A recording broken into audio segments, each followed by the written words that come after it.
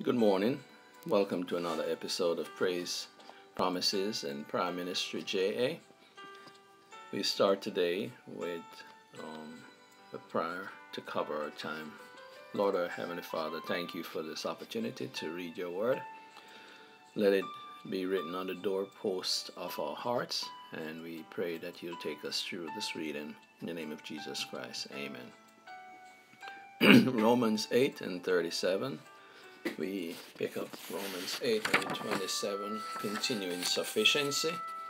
Continuing sufficiency, then we will look at a few scriptures around what Jesus says or promises us around fulfillment, and we will look at what Jesus says about being our everything. Jesus is our everything. Um, so continuing Romans 8 and 37 reads, Yet in all things we are more than conquerors through him who loved us.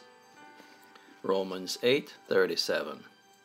Next we look at Ephesians 1 and 3, Ephesians 1 and 3, and it reads, Blessed be the God and Father of our Lord Jesus Christ, who has blessed us with every spiritual blessing in the heavenly places in Christ. Ephesians 1, verse 3. Next, we go to John 15 and verse 7. John 15, verse 7, and it reads If you abide in me, and my word abide in you, you will ask what you desire, and it shall be done for you. John 15 and verse 7. John 15, verse 7. John 16, 23 and 24. And in that day you will ask me nothing. Most assuredly, I say to you, whatsoever you ask the Father in my name, he will give you. Until now, you have not asked nothing in my name. Ask, and you will receive, that your joy may be full. John 16, verse 23 and 24. Matthew 21, verse 22. And whatsoever thing you ask in prayer, believe in, you will receive. Matthew 21, verse 22. What and whatsoever things you ask in prayer, believe in, you will receive. 2 Peter 1, verse 3 and 4. 2 Peter 1, verse 3 and 4.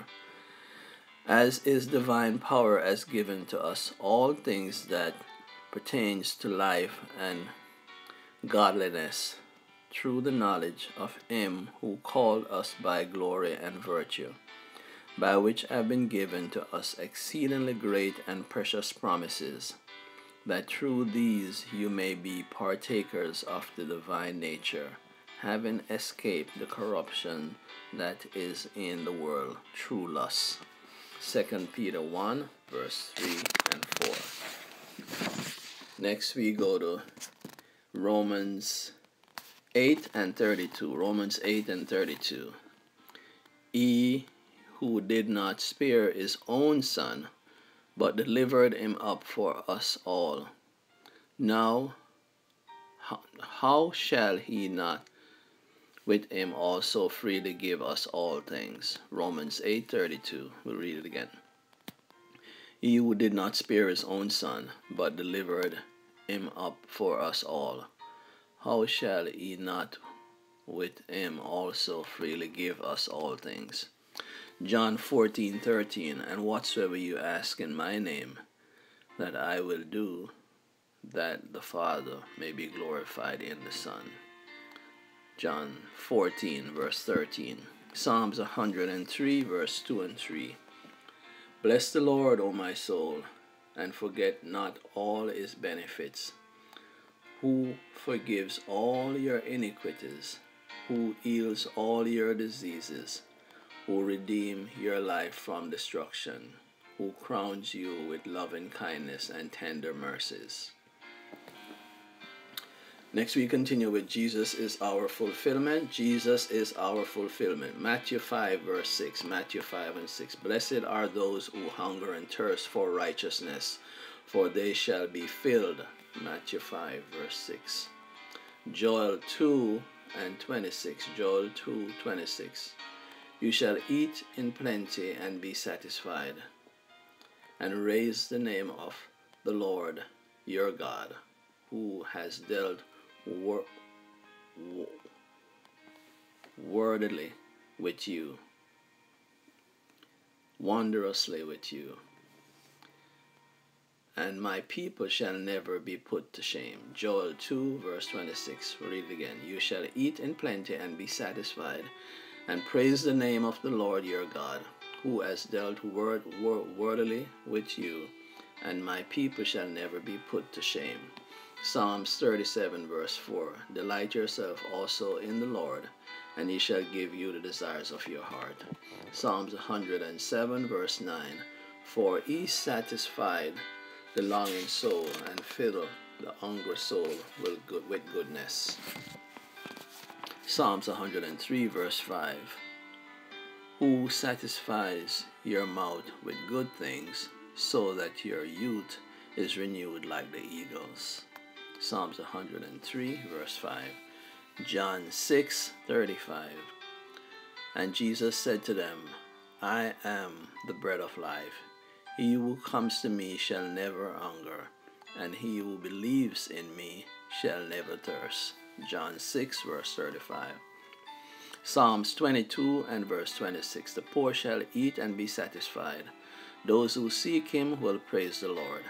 Let your heart live forever. Psalms 22, verse 26. John 4, 13 through 14. Jesus answered and said to her, Whoever drink of this water will this water will thirst again, but whoever drinks of the water that I shall give him will never thirst.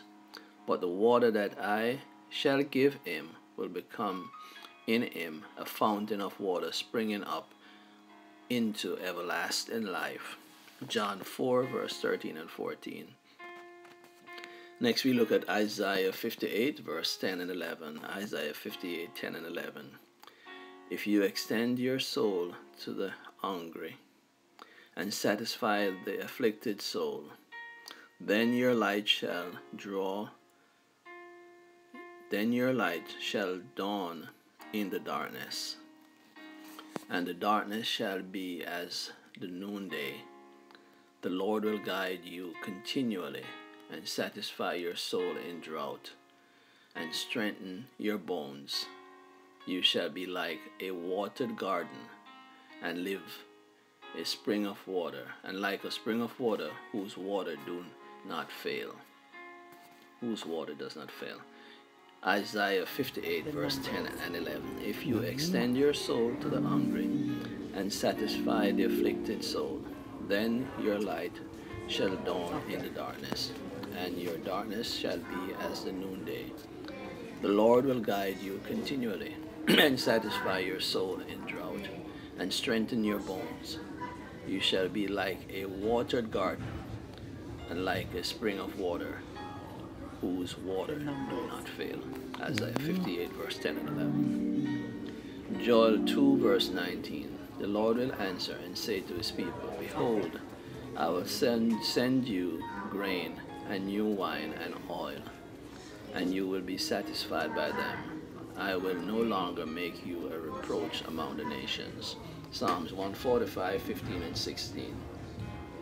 Psalms 145, 15 and 16. The eyes of all look expectantly to you, and you will give them their food in due season. You open your hand and satisfy the desires of every living thing.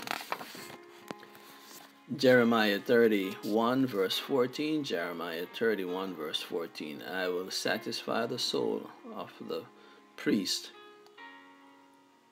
and with abundance. I will satisfy the soul of the priest with abundance, and my people shall be satisfied with my goodness, says the Lord. Jeremiah 31 14. I will, satis- I will saturate the soul of the priest with abundance, and my people shall be satisfied with my goodness, says the Lord. Isaiah 55, verse 2. Why do you spend money for what is not bread? and your wages for what does not satisfy. Listen carefully to me and eat what is good, and let your soul delight itself in abundance. Isaiah 55, verse 2. Psalm 63, verse 5 and 6 My soul shall be satisfied with marrow and fatness, and my mouth shall praise you with joyful lips. When I remember you on my bed, I meditate on you in the night watches. Psalm 63, verse 5 and 6. Romans 8:32. He who did not spare his own son, but delivered him up for us all. How shall he not with him also freely give us all things? Continuing, Jesus is our everything. Looking at Philippians 4, verse 13, it, Philippians 4, verse 19, it reads, And my God shall supply all your needs according to his riches in glory by Christ Jesus. Philippians 4:13 reads, I will do all things through Christ who strengthened me. 1 Corinthians 3 21 to 22, 23. Therefore, let no one boast in men, for all things are yours, whether Paul or Apollos or Cephas or the world or or life or death or things present or things to come, all are yours and you are Christ, and Christ is God's. 1 Corinthians 3 21 to 23. Romans 8 and 37. Yet in all these things we are more than conquerors through Him who loves us. Psalm 68, verse 19. Blessed be the Lord, who daily loads us with benefits, the God of our salvation. Selah. John 16 23 and 24. And in that day you will ask me nothing, but assuredly I say to you, whatsoever you ask the Father in my name, I will give you. Until now you have asked nothing in my name. Ask, and you will receive, that your joy may be full. Ephesians 1 and 3. Blessed be the God and Father of our Lord Jesus Christ, who has blessed us with every spiritual blessing in the heavenly places in Christ. Ephesians 3 20 through 21. Now to him who is able to do exceedingly abundantly above all that we ask or think, according to the power that works in us. To him be glory in, in the church by Christ Jesus to all generations forever and ever. Amen. 1 John 3 22. And whatsoever we ask, we receive from him, because he keeps his commands and do these things that are pleasing in his sight. John 15 7. If you abide in me, and my word abide in you, you will ask what you desire, and it shall be done for you. Mark 11 24. Therefore, I say to you, whatsoever things you ask when you pray, believe that you receive them and you will have them. 2 Corinthians 5 17. Therefore, if anyone is in Christ, he is a new creation. Old things have passed away. Behold, all things have become new. 2 Corinthians 9, verse 8. And God is able to make all grace abound towards you, that you, always having all sufficiency in all things, may have an abundance for every good work. And that concludes the reading for today. May the Lord continue to bless his ministry.